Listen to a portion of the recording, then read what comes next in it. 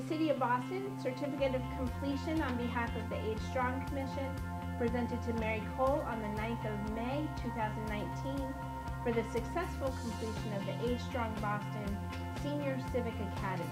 And it's signed by both the mayor mm-hmm. and myself. Thank you very much. So much. congratulations. Thank you. My name is Gwendolyn Farrell, and I'm here. My concern and my passion is for health prevention measures for the seniors as we grow older. The topic that I was planning to, that I wanted to write about is um, policing and security in Boston.